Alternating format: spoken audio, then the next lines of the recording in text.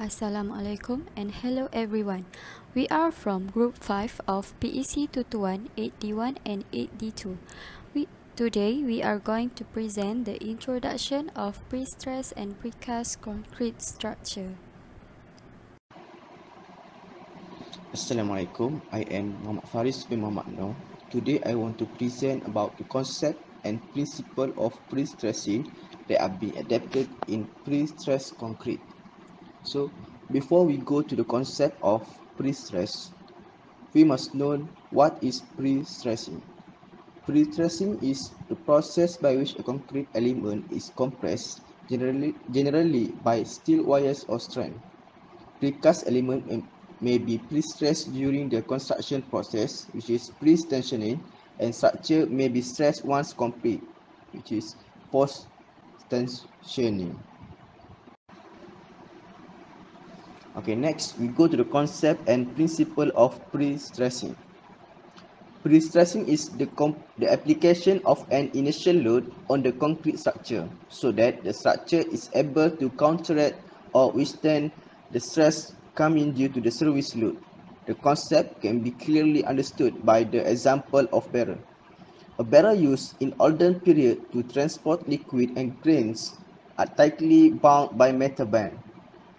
These metal bands are fitted so tightly that it creates a hook compression around the barrel. When this barrel is filled with liquid, it exerts hook tension. The hook compression that is created by the metal band head to counteract the hook tension created by the fluid with it. This is a pre-stressing system. Similarly, effective internal stress are induced into the concrete by means of tension steel bar before the concrete structure is subject to any service load. The stress counteract with external stress.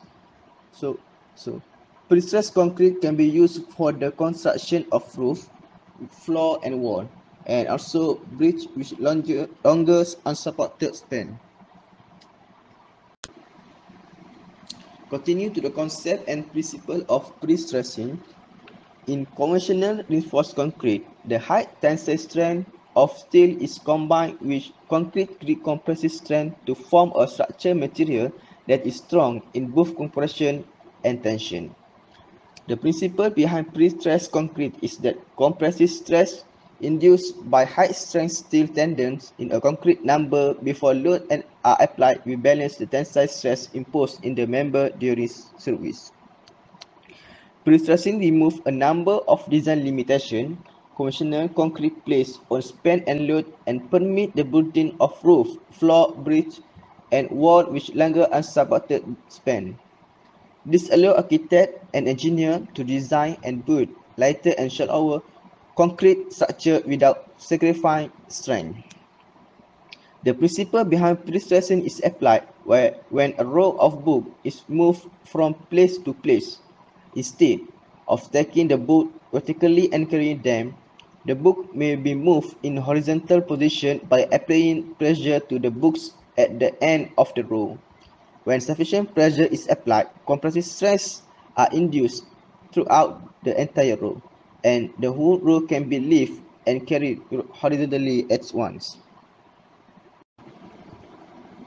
This video will show you more detail on concept of pre-stressed In concrete. case of big concrete construction projects like bridges, steel reinforcement bars alone won't be sufficient to provide the necessary tensile strength.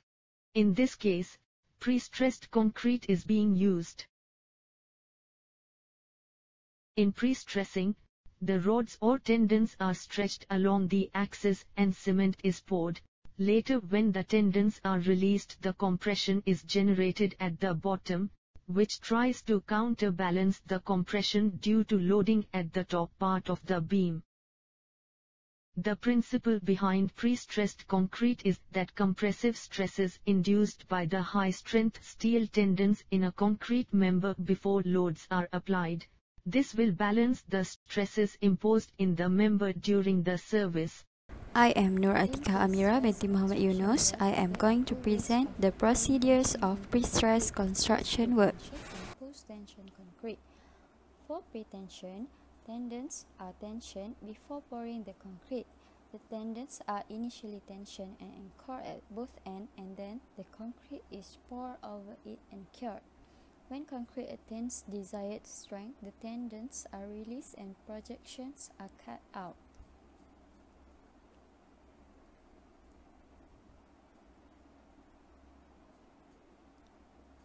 For post-tension, the tendons are tensioned after the concrete is poured. Initially, the concrete is cast around the sheeting. The ducts are formed in the concrete which tendons are placed. After the concrete is hardened, the tendons are tensioned by using hydraulic jacks and an anchor.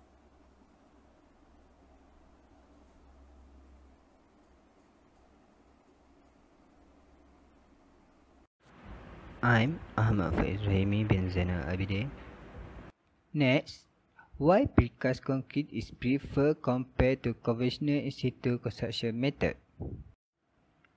Okay, what is a precast concrete? Precast concrete is a product that produced by casting concrete at factory that can customize the size, shape and grade concrete. Other name for precast concrete is called Industry Building System IBS. Okay, what is a conventional in situ method? Conventional in situ is a concrete that poured into formwork at the building site. Factor that we can compare between two methods such as quality control, cost, time and safety. Precast concrete. First, Quality control. As we know, precast concrete as high quality control product from the factory. All concrete must pass testing before use. Second, cost. Precast concrete can reduce worker and minimize cost of transferring waste material. Third, time. Precast concrete already mixed.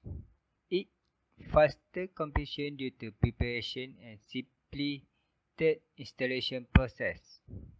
Fourth, safety. Precast concrete, concrete promote safety and systematic working environment as minimal worker and waste material. Next, for in situ concrete, concrete is subject to outside variable and changing condition. All testing must be performed on site. Second, need more worker and material for construction. For worker, as we know, they have different scope of job such as barbender, carpenter. Next, for in situ concrete, it take time for preparing material for inspection and curing the concrete. For the safety, it risks to hazard when mixing concrete, Dust can cause brief problem. Sourced by International Research Journal of Engineering and Technology IRJ. According to Sid et al. 2019 study on cooperation of precast and cast in situ construction of structure based on social category. First, precast concrete can help the construction industry to reduce the waste generated on site by up to 50% compared to traditional managed construction. Second, precast concrete has gained an impressive market share such as in terms of annual turnover equal the sum of the cement and ready-mix market. Third, by using precast concrete is related to environmental effect. It also can improve the quality control, reduction of construction time, construction waste, dust and noise on site and less labor requirement on site. That's all. My name is Muhammad Muaz bin Abdul Fataf. Precast designs for conventional in situ construction has resulted in savings of as much as 55% of the concrete quantities and 40% of the reinforcing steel requirements. In the case of typical floor slabs, the combination of precast, pretension slab soffits and a composite in situ topping can result in savings over conventional in situ construction of about 28% in concrete quantities and about 45% in steel requirements. In the case of conventional in situ beams, savings of 60% in concrete quantities and 65% in steel requirements can be realized by the use of precast pre-stressed concrete technology. This reduction in the use of materials such as cement, stone, sand, steel, timber, formwork and other ingredients results not only in a significant reduction in energy employed in the mining, manufacturing and processing of these materials, but also a reduction in the air pollution accompanying the use of this energy. For instance, in the manufacture of one ton of cement, approximately one ton of carbon dioxide is emitted into the atmosphere. In addition, savings in construction materials will result not only in savings of our natural resources from which these materials are derived, but also savings in the energy resources such as fossil fuels, nuclear and hydroelectric facilities all used in the mining, manufacture, transportation and installation of construction materials.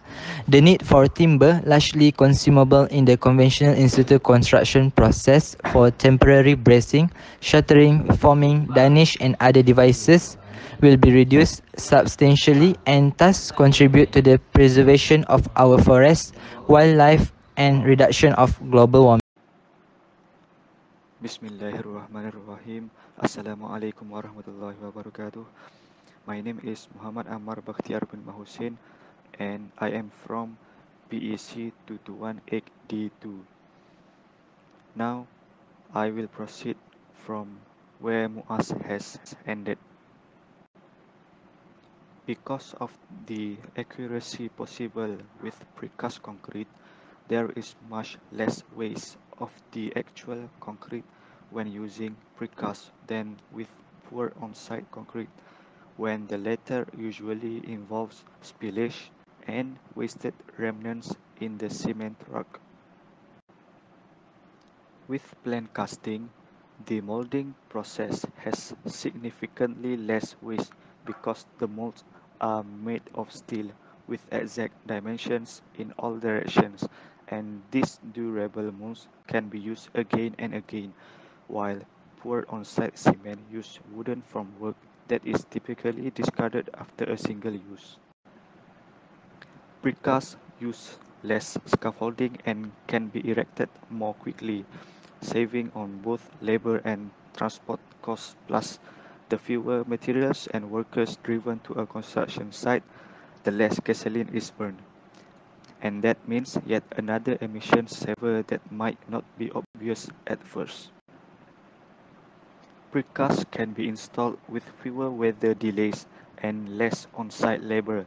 Thus, faster and more efficient construction means less on-site equipment noise and emissions. Modern trends in building aim to reduce sound transfer and create a privacy zone and precast concrete more than most any other material prevents noise transfer into a building avoiding the need for extra soundproofing insulation, thus fewer necessary materials means a smaller carbon footprint. A new process gaining popularity is a precast concrete panel that includes a pre-attached continuous layer of rigid foam insulation and this process results not only in reduced noise but also in the green premium of good thermal resistance improving energy efficiency